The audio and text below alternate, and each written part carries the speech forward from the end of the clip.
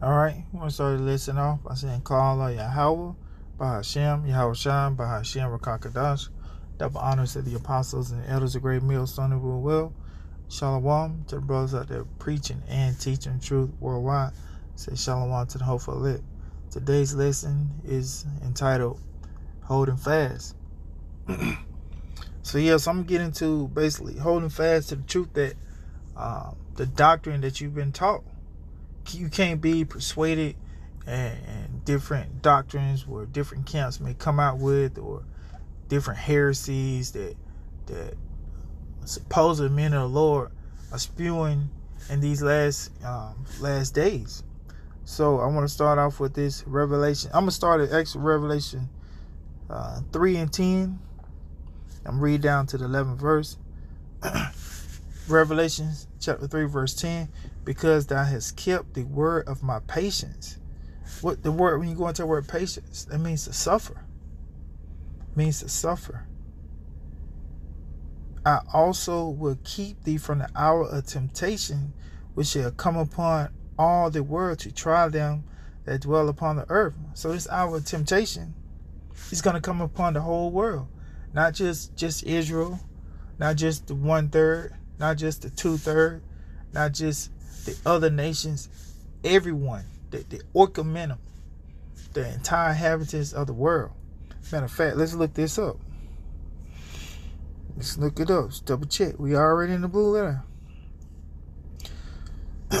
so let's look it up for world. Orcamenum. G3625. So it's, it's talking about the whole, um, the whole inhabited earth, or world, Orcamenum. So this, this hour of temptation is going to come upon the whole world. So let's just start from the top. Revelation 3 verse 10. Because thou hast kept the word of my patience, means to suffer, I also will keep thee. Who's the Lord going to keep? The elect of the nation of Israel. That's who the Lord's going to keep. Two thirds, you're not going to be kept because it's set up for you, for ultimately for you to get destroyed during this hour of temptation. Whether you take the take the um uh, the charagma or whatever this damn devil, whether you, you die by taking Esau and and uh, whatever he has put out, because the injection that is this is that is an hour temptation. So Salakia on that, I was about to say, take the jab but that's not the hour of temptation. It's leading up the hour of temptation is when you present it with the charagma. Whether you take it or you get or you die, you get your head chopped out. That's the that's the hour of temptation. But leading up to the hour of temptation, you're gonna have different things. Right now, here it is. Um, this past year, people was forced with decisions whether take take the take the jab or lose their job. A lot of Jakes buckled under that. So what do you think gonna happen when when that was that was like a trial run? What do you think is gonna happen when the real hour of temptation, when it's your life on the line and not your job? Jake is gonna fold. Gonna fold like a folding chair. That's why we gotta pray to Yahweh Shema Shah that the Lord keep the spirit on us so that we don't fold like a folding chair, so that we can make it through that hour of temptation. Because it's not only gonna try us, it's gonna try the whole world everybody's gonna be put put on um, put on the stand, so to speak. I will also I'm uh, I'm just reading from top Revelation three verse ten because thou hast kept the word of my patience because you kept this true. I also will keep thee from the hour of temptation which shall come upon all the world to try them that dwell upon the earth. So that cuts that whole um, implantation Christianity that whole rapture doctrine. No, just because they believe that you, they, are gonna be raptured up before, um, I guess during the before their so-called tribulation. No, no, no. To keep the to keep someone means the Lord gonna keep the spirit on you to go through it. That's all it means. The Lord gonna put the spirit on the the nation Israel to go through it, whether they go all the way through it till they see Yahweh shall come back in them chairs, or the Lord keep the spirit on you to, to deny the charagma and die by whatever means, whether um, Esau has a guillotine, um, firing squad, whatever this damn devil have for for the men of the Lord to die. during that time frame. Verse 11, behold, Revelation 3:11, behold, I come quickly, hold that fast, hold that fast which thou hast, that no man take thy crown. So you gotta you gotta hold on to the truth. You gotta be patient. You can, you can't get impatient. Said, behold, I come quickly. Hold that fast, which thou hast, that no man take thy crown. You can't let this devil take your crown. But whatever any means necessary, I don't care this devil, devil threatens your family, your job. You gotta hold fast to the truth. You gotta stand on. You gotta stand on your square. You gotta stand on the, the wisdom knowledge of the scriptures. You gotta understand. That's why you gotta eat this whole roll. You gotta understand if your family gets taken from you, guess what? You see him in the kingdom. What does Lord the Lord say he promised you a hundredfold? So if you lose your kids, your wife on this side, guess what? The Lord gonna promise you, promise you a hundredfold. So that's why you gotta hold fast which thou hast, and let no man take thy crown. Can't let no no can't let no man take your crown. First Corinthians 9 verse 24. Know ye not that they which run in a race run all, but one receiveth the prize? So run that ye may obtain. So you got to run this. You got you got to run this race, so that you can um, receive the prize. What's the prize? The kingdom of heaven. You can't let no one take your crown. You can't let anyone take the prize from you. No matter what, enemies necessary. You got to continue running this race. Because what the, the, the um, one thing about a race because I'm a middle distance slash long distance runner. When you're running a race, you start out fast.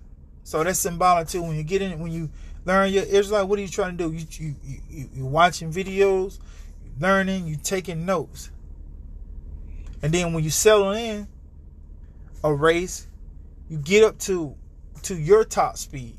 So my top speed and your top speed is different. So if I try to run someone else's race, what's going to happen in a half a mile race or a mile race? I'm going to burn out because when you running, you can feel the other person's energy, but you know your speed when you run a half a mile, which is two laps. You know what you your optimum running level for for running to make sure you can complete this race and then have that kick at the end so that you can go through the line at the end. So if I'm running your race, I'm gonna burn out. That's like unto this truth. Here it is. You see the apostles and elders doing four and five videos a day. Not so like not well. Sometimes Apostle um, Gabar he may do two or three videos a day. So yes, brother do drop two three videos a day sometimes. So here it is. You seeing apostles and elders doing two videos a day. Just use that number and then you try to run their race, what's going to happen to you? You're going to burn out because that's that's not your race. So the script, even though the scripture said, "Know ye that they which run in a race run all, but one receive the prize. So run that ye may obtain." That's their lot. That's the talents that the Lord gave the apostles and elders. They have more talents. So your race, you may you maybe only can do one video every two to three days till the Lord builds you up in the spirit. That's the race that you have to run so that you can attain that prize. Because here it is, you try to run a race that isn't your race, you're going to burn out. So, and to finish up, you know, this whole running analogy, at the end of a race, what do you do? It's called a kick. Why do you kick? You kick so you can finish that race strong like it to the end. We're the end of the end. We're we're the last of the last days. So brothers should be kicking right now. Should be pumping out more lessons through the spirit. So much going on. You got the whole thing with Russia and Ukraine. You got over here in America, Babylon the Great, uh, um, gas prices, food prices going up. Seeing like every time I go in the store, I see shrinkflation. So brothers should be kicking through the spirit. Should be pumping out more lessons so they can attain their prize. And I got this right here uh, Ecclesiasticus 4, verse 20, 28. Strive for the truth unto death, and the Lord shall fight for thee. So long as you strive for the truth unto the death, so that you can kick it, so that you can kick in, uh, so that you are kicking, so that you can attain that prize, because you're running the race. The Lord gonna fight for thee.